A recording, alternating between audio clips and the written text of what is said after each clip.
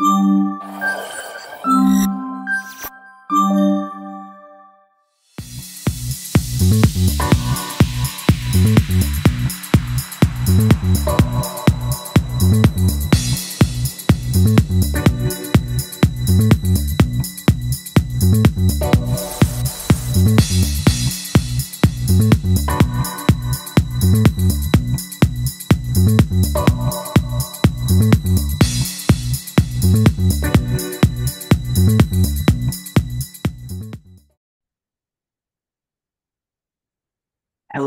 Welcome to another enlightening episode of uh, Talent Ed, where the podcast where education meets innovation.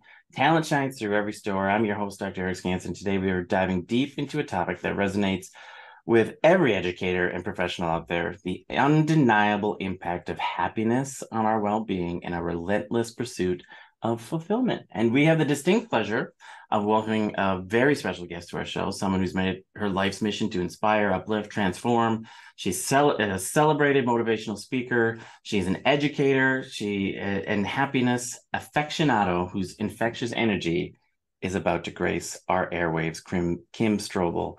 Kim, thank you for joining us. Your journey is a compelling and inspiring. And I want to ask you, are you ready to spread some joy and wisdom to our listeners today? I am ready. I'm ready, Eric. It's 80 degrees here, sunny. I'm feeling good. Let's go. Well, Kim, where where are you talking to us from? Where in the heck is it 80 degrees today?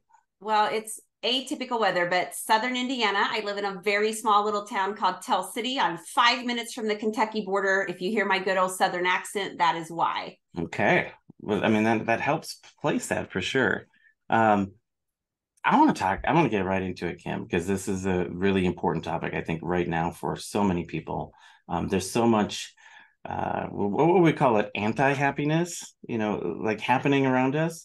Um, can you share with us a moment when you realized that happiness was more than an emotion, but a powerful tool for transformation? And maybe even specifically, what does that mean in the education sector? Yeah, well, for me, my own happiness journey actually started 20 some years ago. Um, this is a story I kind of tell on the stage because I think it's really easy to kind of, like you said, hear this intro bio, think that I have it all together and that I travel the country and do all this big stuff. And I do. But, um, you know, sometimes a person's pain gets to have the opportunity to, be turned into purpose. And so I tell people that I lived a lot of dark years. I suffered from panic disorder, um, which is a very debilitating anxiety mm-hmm. disorder. Um, and so there were moments and times in my adult life and even years where I struggled to do the simplest of things drive my car five minutes to Walmart, or lo and behold, have to actually walk into Walmart, walk to my mailbox. Um, those things were such a suffering um, mm. and a feeling of deep inadequacy in my life. But um, while I, you know, sometimes despise panic disorder and what it did to me, I've also learned that it, it's my greatest gift because it allowed me to dig into kind of the self help field 20 years ago and say, okay, how do I start to create a life and take responsibility for my life from the inside out. So, what is the work that I have to do mm-hmm. on the inside of myself to be able to get the outer results? And when I started reading about this, um, I just became on fire with it. And then maybe 15 years ago, I started studying happiness in particular, and it gave me a lot, it, it helped me understand where we are in regards of that and people think that happiness is like some endpoint right like mm-hmm. i just I, I just need to arrive at happiness. Someday it's going to happen. And it's not. I mean, life is polarity. Mm-hmm. We are a mm-hmm. mixture of happiness and unhappiness. Um, but it's understanding that we all have this ability to get happier regardless of the circumstances we're in. And in particular, you know, as a former fourth grade teacher, um, I always say I, I left the glass doors every day with my head down, my shoulders slumped, kind of feeling like, you know, once again, um, I didn't fare well today. You know, I missed, I, I, mm-hmm. I, maybe I did 99 things right and I really screwed up with this student or this lesson or this uh, exchange with a parent. And I would just focus on what I did wrong versus the 99 things that I did right. And I started to think about how do we start to value ourselves as educators? Mm-hmm. What does mm-hmm. that look like? And my goodness, how can we start to give ourselves some grace along the way? And I'm a straight shooter, Eric this profession can completely suck the life out of you. It really can. Mm-hmm. And I'm honest about that. I I think that's really great advice, especially as educators when it's a time where where we don't feel supported when when the world is tough right and and what are you going to do about that and you have that own control you have that control and i love what you said that it is not a destination it is a continuum right we can always be happier yeah in that yeah continuum. we're going to have moments you know where we step i always tell people like we're going to go in the gutter we're going to have bad things happen we're going to have struggles but my goal is to teach you how to get out of the gutter quicker. And I know the research about how happiness actually affects our performance at work, which is mm-hmm. also really astounding. And I want to give you a stat that I read recently, Eric. It, it was saying that antidepressants are prescribed at a rate of 400 times more than they were 20 years ago. Oh. 400 times more. So as Americans, in particular, we are not getting happier. And, you know, I take an antidepressant for my anxiety disorder. So I'm not throwing shade here. Mm-hmm. That's, it's been a lifesaver for me. Um, but understanding that what we think makes us happier probably doesn't. And then where is that window of opportunity for all of us? You know, this would probably be a whole other episode, Kim, if we could get into it. Uh, and and the comparative nature that we have right now we are constantly constantly comparing. And you think about the opportunities that we have to compare now as to you know even 20 years ago. I mean we see it all online right? Everybody's painting a fake picture of their lives. Of I, i've told the story before of of um, a friend and his family who were down by the lake and they took this they they posted this beautiful picture of the the beautiful family it was perfect sunset in the back and I was telling him, I'm like, wow, I, that was a beautiful picture, you guys. You looks like you got it together. And he laughed. He's like, you know how many times we had to sit there for that photo? He goes, eh, that is fake. He goes, that is is absolutely fake. He said, do not believe any of that. And I wanted to be like, oh, thank you. Thank yeah. you. Because I got caught into this thing like, wow, look at how awesome that life is, you know, standing in front of the lake and um yeah I think you've made fake. a really good point there because I think that we do not talk about the hard stuff enough and actually talking like I always say we're going through the halls we're smiling at students mm-hmm. we're smiling at our coworkers you know and then we're going home with this feeling of defeat or depression or anxiety or guilt and or irritability and we're it because we're not talking about the hard stuff in education mm-hmm feel like we're alone on an island. And what I have found is that when we bring um, those experiences to the forefront, we begin to create connectivity with one another. Mm-hmm. And again, that's you know when I step on a I, I stepped on a stage in August with six thousand people, and with you know I thought I got all these people looking at me, and I they hear this amazing introduction about all these accomplishments, and I thought to myself, watch what happens to the crowd when you let them know kim who you really mm-hmm. are and it's the entire crowd just all of a sudden is like okay she's she is me too. Mm-hmm. yeah authenticity right? We we don't give it enough credit. Authenticity uh, vulnerability. I mean these are leadership qualities that people love. And i think it's because there's not enough of it. It's a it's a scarcity mindset around those two. Uh, i have to talk about happiness. Um, I, I, read this somewhere or heard it somewhere, I can't remember, but it was basically this study of um, they put people on a train and they they asked people to talk to the strangers and then they separated them out to people who didn't talk to anybody. And the idea was that the, the, the train company wanted to make a more private experience for people because that's what they thought was was better for people. And once they did the study, they found out that the people who were actually like open and talked to strangers and talked to the people next to them and had connection, they were happier at the end of their train ride. And then what did the the train company do anyway? They made private cars. I'm like, what are you doing? Like it was right in front of you.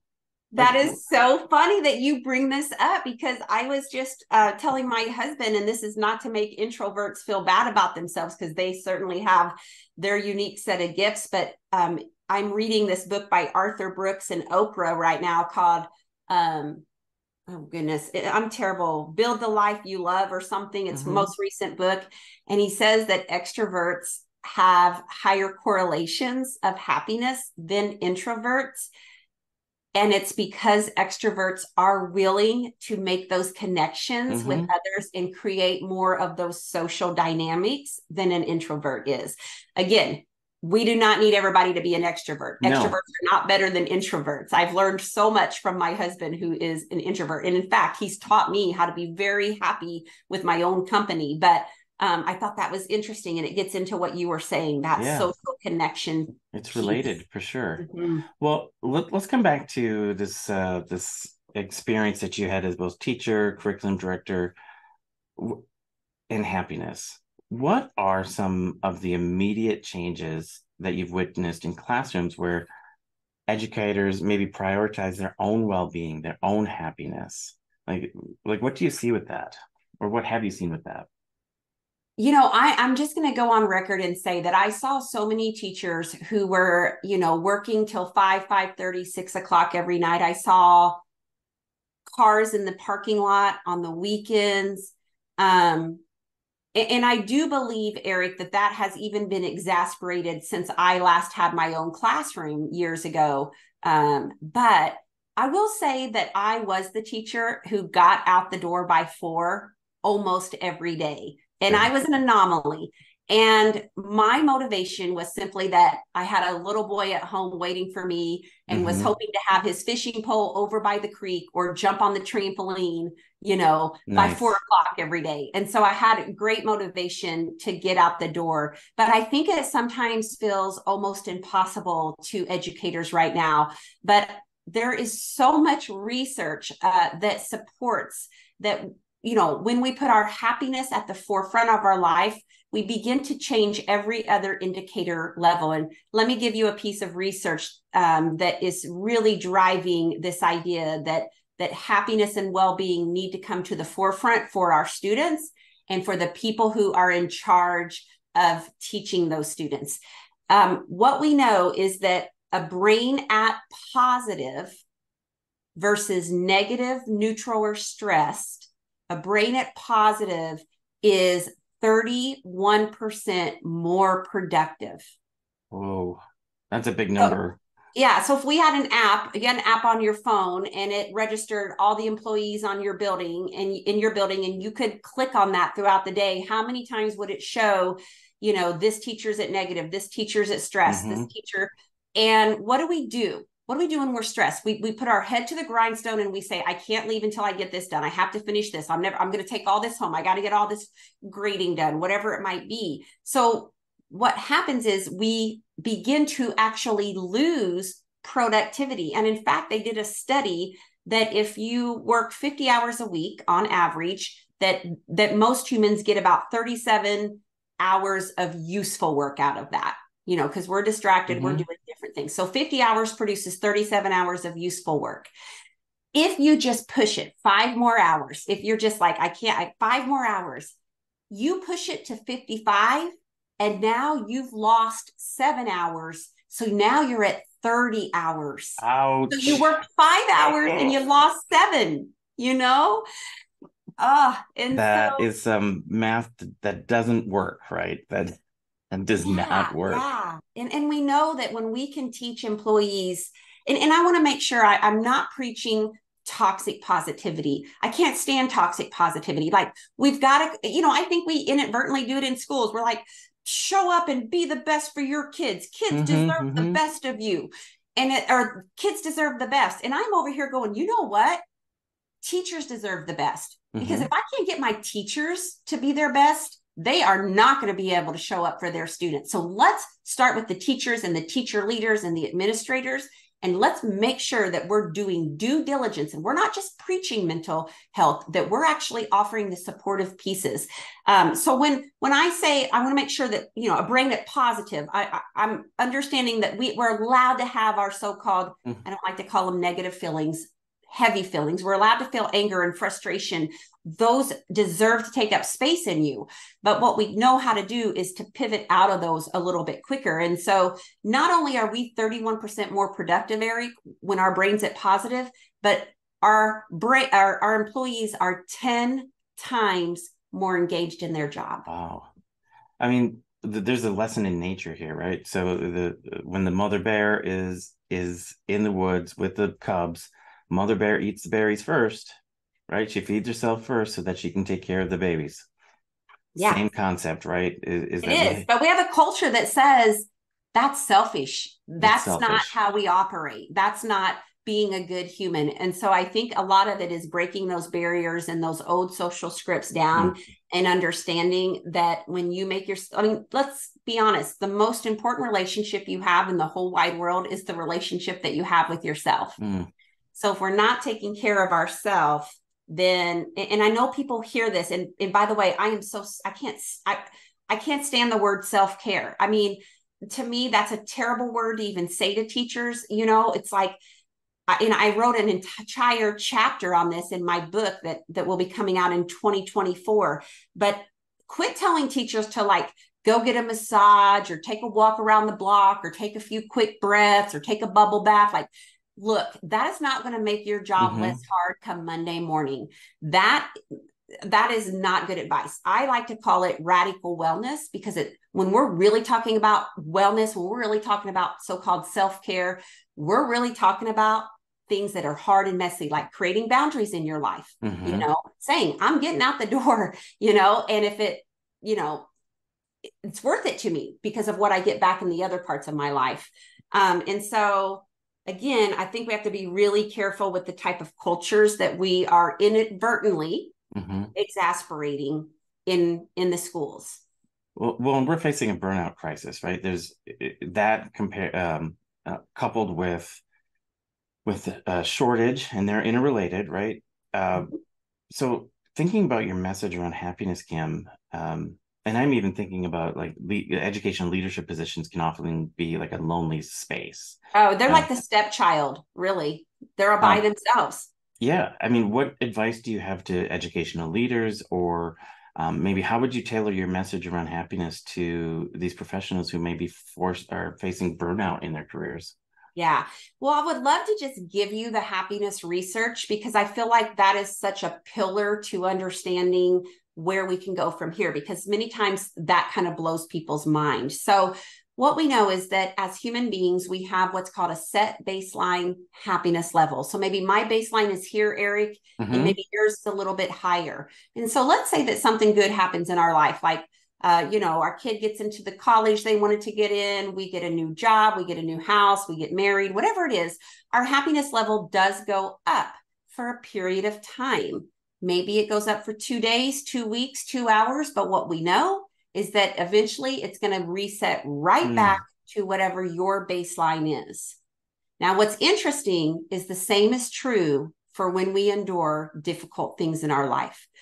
The research proves over and over again that as humans, we can endure loss, illness, grief, uh, challenges, adversities, and that our happiness levels will dip, but that for most humans, they will reset. And if you're like me, you fight a little bit with the researcher. Mm-hmm. I'm like, I don't know. There's certain things that I think if those things happen to me, I, I might not ever regain my level of happiness but I see evidence, just like you probably do, of people who have endured some mm-hmm. terrible atrocities. Terrible.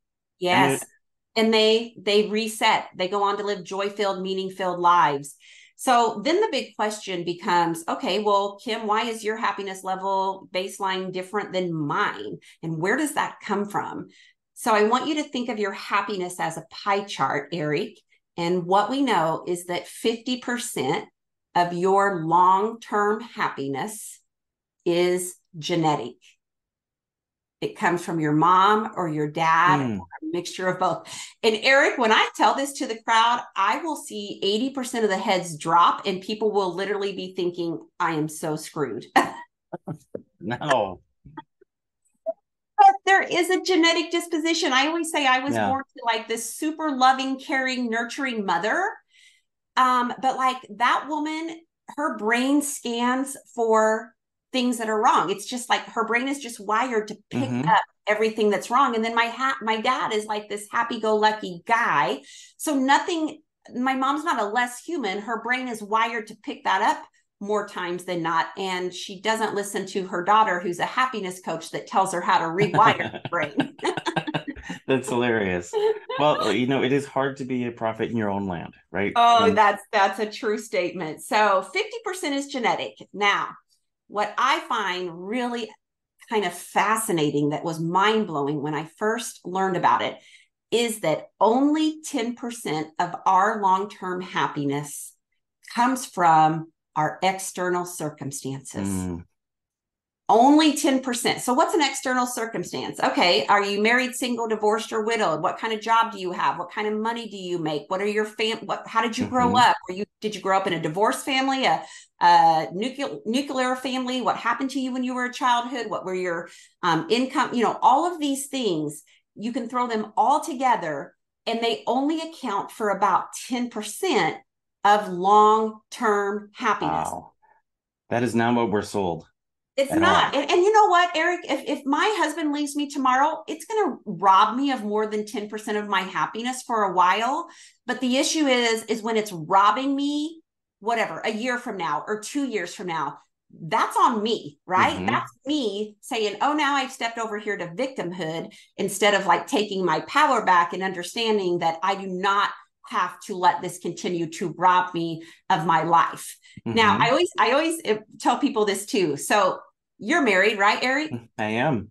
Yeah, me too. So, I always say, "Hey, who's married?" Hands go up and I say the happiness research says that when you get married, you get a boost in happiness for about 2 years. 2 years. and then it goes back to baseline, Eric. And I tell people, sometimes it gets worse for some of you. Mm-hmm. yes, that's true. That is true. That's hilarious. So we like to have a little fun with the research. Uh, another one is is that uh, the happiness research says that when you have kids, which if I'm not mistaken, how many do you have? Uh, one, two, three, four, five. when you become a mom or a dad, you become just a tiny bit less happy for the rest of your life because your stress levels yes. they still just a bit of that well-being. And i don't think that ever changes from what i hear. My oldest right now is 16 and from what i hear it, it actually never goes away. Yeah never i'm 49 and my mom will still say text me when your plane lands text yep. me when you pull in the driveway i don't care what time because of the worry you know and i always say like my son spencer hands down, he's the biggest blessing and, and mm-hmm. joy of my life. But more times than not, that boy has stressed me out. Stress. well, you know, I'm so glad we can talk about happiness because part of for me, part of my happiness comes when I can laugh and find humor in things. It's a big part of uh, of my my value system. So I do have some questions for you, Kim, that um, I, I want to address. So I know, Kim, that with all seriousness, um, I have to ask you You've rescued 187 dogs. Is this correct? It's actually 201 as of today. Oh my gosh. It keeps growing. It yep. keeps growing. Do you have a favorite uh, a favorite dog rescue story that uh, either is happy or humorous or I mean um, did did you mistakenly um, grab a small horse in there? Like a... well, let me tell you. Okay, but before we go there, I have to backtrack you just a minute because your listeners are wanting to know where the other 40% of happiness comes from. Oh, yeah. Okay. Yep. Let's go back. So Let's we did 50% genetic, 10% circumstances. That leaves 40% of the pie, which means every human being, Eric, has the ability to increase their happiness levels by up to 40%. And it has to do with these three things your actions, your thoughts, and your behaviors. Oh my gosh, Eric, my my my Zoom thing has been doing this. When I do quotes, it, it gives me balloons or something in the background. Did you see that? Uh yeah. it was well timed. It has something to do with when I move my hands, it will either do confetti or balloons. I don't know how what? What happened?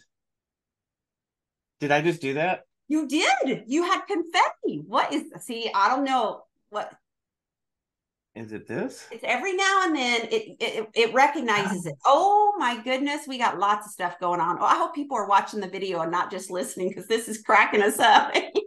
right here, this has brought us some happiness. I'm gonna I'm gonna rewind and see my face when balloons started coming out because I at first I thought they were real balloons. I'm like, that is well placed prop Kim. Like, wow. Oh my goodness. So, string. anyways, I know we're on a time limit. I just wanted to give that 40%. That's the piece that I focus on with teachers, schools, school leaders, all of that. But going back to dogs, okay, here's the deal. Last week we had That's where this, you find part of your 40%. I, I know, I know, I know.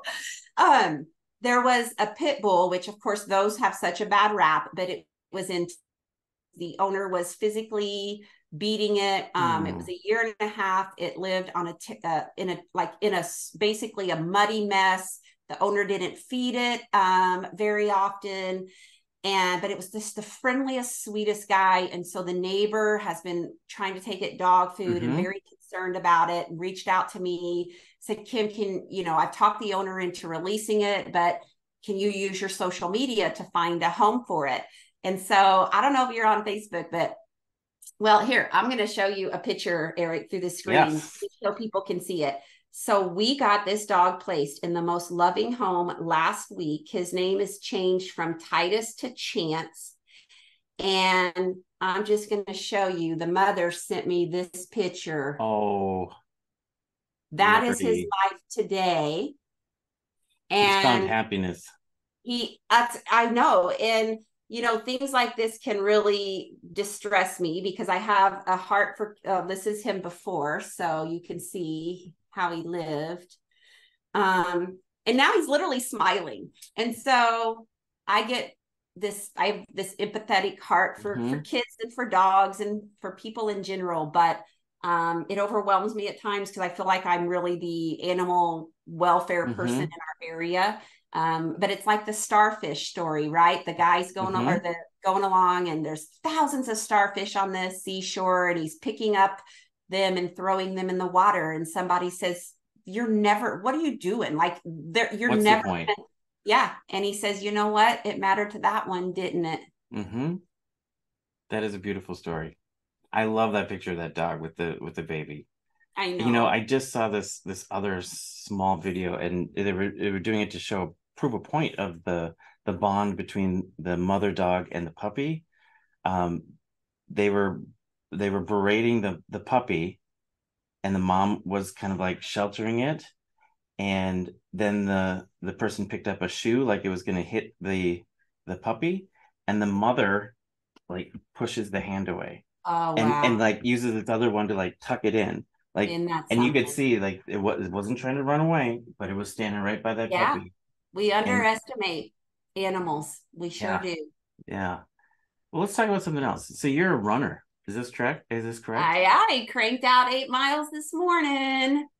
That's impressive. I did not, um, Kim. I did well, not run. I, I, here's what I tell Eric. You know, I run 40 miles a week. I meditate 40 minutes a day. I take an anti-anxiety and um, like I'm still really highly wired. So um, that running piece is such a mental aspect for me. Yeah. I mean, that's no easy feat. I I do want you to share just a quick. Did, did have you ever had a, like a running mishap or unexpected adventure that that you've encountered while running that brings you a laugh when you think about it?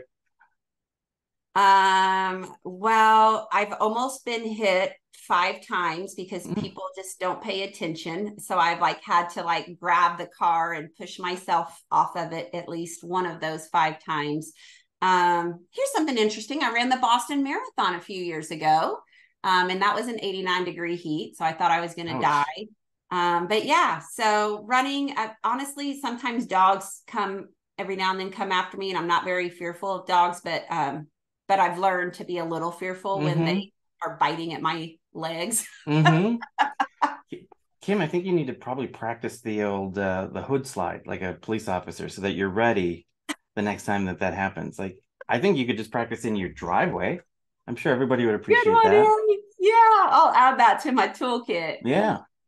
Um, last question. We've heard about your professional accolades. Um, but what what's a quirky or funny habit that keeps you grounded or maybe just makes you um, let's see if i can get anything to happen uniquely kim oh gosh oh, got him again confetti oh gosh okay what is i mean i have some quirky habits that i've been you know, sometimes, well, I don't know if this fits for what you're looking for, but I think I have a, a few layers of OCD. They they come out in strange little ways. Like in the last few years, all of a sudden, I have to cut all tags off from inside my clothes, which is just I do not understand. Like I I don't have to have like everything completely straight in my house. Yeah, I don't yeah. have to have my floors clean all the time, but like for whatever reason, every single tag. No, you know they put tags everywhere, not just the back of mm-hmm. clothes; mm-hmm. they're on the side. sides.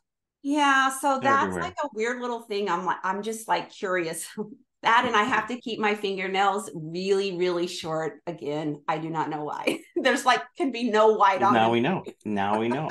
Everybody, when you're sending Kim a, a Christmas gift or a birthday present, cut the tags off first. Okay. Exactly. Um, I want to recap just a little bit because we've talked a lot about um, happiness and controlling your own destiny here, and that happiness is not a destination; it is a journey, um, and it, it's always a continuum of can we be more happy, you know, happier. Um, I think you're just a great example of authenticity and vulnerability, and I just really love what you bring. And I would be so excited to see you in schools, in talking with ed leaders and you already do this, but I, I would love to see more and more of you uh, around. Do you have a final call to action for our listeners today uh, in in your area that uh, you want to ask them about? Well, you know, I think when I look at all the things that I do in my business, you know, we provide on site professional development. My consultants go out in the field and do mm-hmm. that, mm-hmm. um, live virtual workshops. But Eric, I like to be on the stage. I like to be in front of people and literally connect with them and watch them be able to truly see things click differently in their mind mm-hmm. and then mm-hmm. walk out and actually start to do life a little differently. And so, um, right now I'm, you know, booking my 2024 keynotes. I think I told you before we mm-hmm. jumped on that I took 19 flights in three weeks in the month of August. And That's so um yeah so i i think that i would love the opportunity to really come and talk to people's staff about this idea of happiness and well-being and uh it's not like i'm going to be some sunshine mm-hmm. sprinkles mm-hmm. butterfly type of person but we are also uh, we're going to we're going to have a lot of